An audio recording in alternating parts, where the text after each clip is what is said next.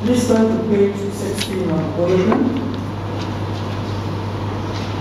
Let us prepare the world and the church for the one who comes in peace. There is place on earth where this promise of God is not.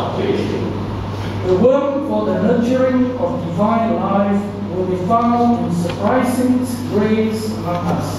The human mind,